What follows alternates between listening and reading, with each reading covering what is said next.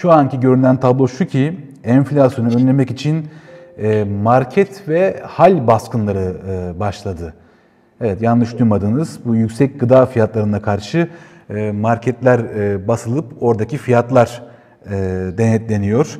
Hatta Cumhurbaşkanı Tayyip Erdoğan gıda fiyatlarındaki artış ile ilgili esnafı uyarmıştı. Eğer bu süreci böyle devam ettirmek ettirirseniz çok ağır cezalar sizleri bulabilir demişti. Yani Sayın Erdoğan ekonominin kötü gidişinin faturasını da böylece esnafa e, kesmiş e, oldu bir taraftan.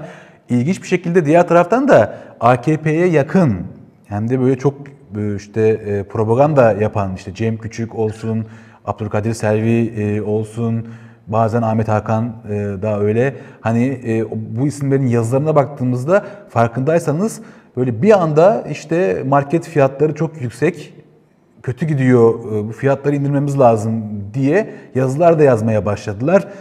Bütün hatta Cumhurbaşkanı Erdoğan bile kızıyor işte bu fiyatlar yüksek diye. ya gerçekten güler misiniz, ağlar mısınız? İlginç bir şey yani. Fiyatlar yüksek diye e, o da e, serzenişte bulunuyor ve marketlere ceza, baskınlar oluyor fiyatlarla ilgili. Enflasyonun enflasyon sorununu çözmek için market ve hal baskını doğru bir yol mudur Rubio Gökdemir? Feritciğim şimdi bu enflasyon konusunda artık mızrağın çuvala sığmadığını herkes kabul ettiği için e, muhalif basın da bu yandaş yazarların bu konudaki köşe yazılarını, yazmalarını böyle vicdana gelmeleri, hakikati temsil etmeler olarak yorumladılar. Yani hiç konusu olmamasına rağmen Cem Küçük gibi birisi ekonomilerin anlamaz, enflasyonda bilmez veya Abdülkadir Selvi veya Ahmet Hakan bunlar böyle söz birliği etmişçesine başka örnekler de var. Enflasyon meselesinde AK Parti, hükümet, Sayın Cumhurbaşkanı bir tedbir almalı. Marketlerdeki fiyatlar can yakıyor, ateş pahası filan diye. Ben bunun ne demek olduğunu biliyorum. Çünkü e, bu bu yazılar yazıldıktan ertesi gün veya bir iki gün sonra da Sayın Cumhurbaşkanı bu meseleye sahip çıkacağını gösterdi. Şunu kabul etmemiz lazım ki AK Parti enflasyonla mücadeleyi edemedi. Fiyatlarla mücadeleyi böyle baskınlarla edemiyor ama algı operasyonu konusunda gerçekten ustaca başarıları sergiliyorlar. Önce kendi kendilerine cesaret ettiğini zannettiğimiz yandaş gazeteciler probleme sahip çıkılması gerektiğini kamuoyu huzurunda köşe yazılarına konu yaparak meselenin içine girdiler. O meseleyi sahiplenmiş oldular. Peşinden de Sayın Cumhurbaşkanı tedbir olarak aynen şu cümleyi söyledi. İnşallah enflasyonu en kısa sürede kontrol altına alarak raflardaki, tezgahlardaki, etiketlerdeki fahiş fiyat artışlarının önüne geçeceğiz dedi. Nitekim bu cümleden sonra bunlar niye yapıldı onu söyleyeyim de sonra bir cümleden sonra nereye geçeceğimi anlatayım. Bunlar hem e, muhalif şey yandaş gazeteciler bu meselelere sahip çıkarak kendi taraftarlarına, kendi kitlelerine bu konuyu onların da farkında olduklarını bildirerek kızgınlıklarını aldılar, gazlarını almış oldular ve sonra da Cumhurbaşkanı bu konuyu dünyanın problemi olarak yansıtarak, nitekim daha sonraki gazeteciler de onu yaptılar.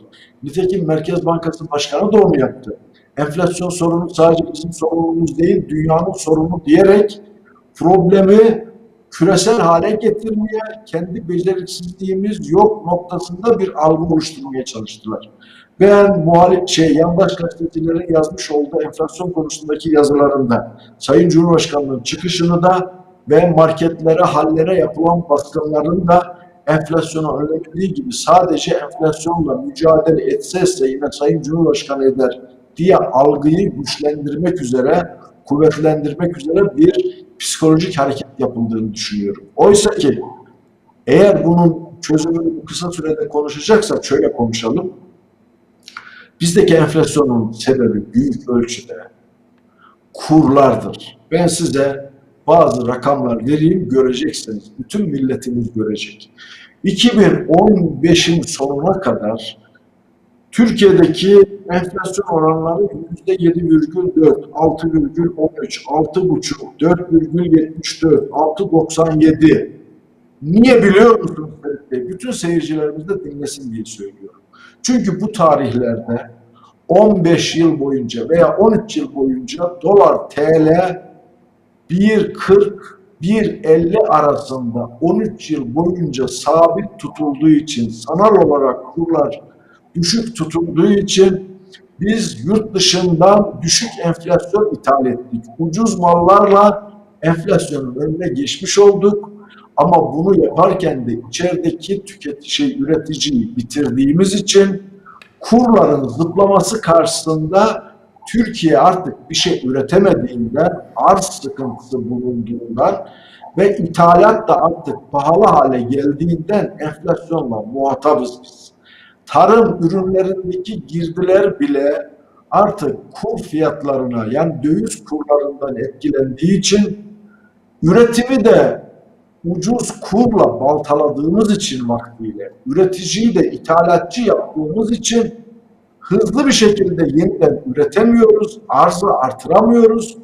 Üretim olmayınca ve üretim girdileri de dövize bağlı olduğundan o 13 yıl boyunca yaşadığımız sanal cennetin bittiğini ilan edemiyorlar. Sebebini ilan edemiyorlar. Hal baskınlarıyla, fiyat etiketleriyle, fahiş fiyat sıfatıyla, betimlemeleriyle konuyu halledebilecekleri ve taraf hiç değilse taraftarlarına reis meseleye el attı kanaatini uyandırarak o duygusal bağın kopmamasını sağlamaya çalışıyorlar. Özetliyorum. Daha önceki yıllarda enflasyonu düşürmekle övünenler kendilerini düşürmediler. Düşük kurla, düşük dövizle, kıymetli TL ile, sanal bir şekilde kıymetli TL ile dünyadaki bütün malları ucuz şekilde Türk tüketicisine tüketerek enflasyonu düşük gösterdiler. Gerçekten düşürdüler de ama üretimi bitirmiş olduklarından kurlar artınca hızlı bir şekilde üretime de geçemediğimizde hem kur kaynaklı hem de arz kaynaklı bir enflasyonla karşı karşıyayız. Kimseyi kandırmasınlar. 2015 yılına, 2016 yılına kadar düşük kurla bütün dünyanın ürünlerini Türkiye'de ucuz bir şekilde tükettik. Şimdi geçen programda söyledim. 220 dolara dünyadan buğday ithal edip dolarda bir buçuk dolar TL civarında iken yurt dışında buğday ithal edip ekmek fiyatını 10 yıl boyunca sabit tutmayı başaranlar bu yıldan itibaren göreceğiz ki ekmeğin kilosu, bak kilosu söylüyorum tanesi değil, kilosunu 15 liraya çıktığını ve bunun sebebinin de buğday üretiminin ve bu üretimin girdilerinden olan ithal malların maliyetleri artmış olması sebebiyle ister istemez ekmeği 15 liraya kilosunu yemek zorunda kalacağız. Dolayısıyla Ferit Bey, e, rasyonel işlerde yani hesap kitap gerektiren, rasyonel izahların yapılması gerektiren yerlerde hal baskınıyla, fiyat etiketleriyle enflasyonu önleyeceği düşünmek o da bir operasyondur, algı operasyonudur, bir siyasi siyaset yapma biçimidir. Sayın Cumhurbaşkanı'nın çok iyi bildiği, ekibinin çok iyi bildiği bunlar anlamsız işler olduğunu bütün dinleyicilerimize söylemek isterim. Düşün ki Türkiye'de etiket kontrolüne, kontrol edilmesine yol açacak bir mevzuat da yok. Yani benim marketimde hangi ürünün kaç liradan satılacağına dair bir nar sistemi mi koydunuz? Nar ne demek? Osmanlı'da uygulanan sistemdir. Osmanlı sisteminin özüdür. Halkın tüketeceği malların fiyatları devlet tarafından belirlenir. Milletin aç kalmaması için serbest piyasa ekonomisine geçtiyseniz, arz talep kanunlarına inanıyorsanız, üretimi teşvik ettiyseniz, üreticinizi teşvik ettiyseniz, üretim girdilerini ucuzlatacak tedbirler aldıysanız, devletin ürettiği mallara zam yaparak üreticiyi zor duruma düşürmüyorsanız etiket kontrol etmek zorunda kalmasıdır. Bunlar uyduruk işler. Bunlara itibar etmeyelim.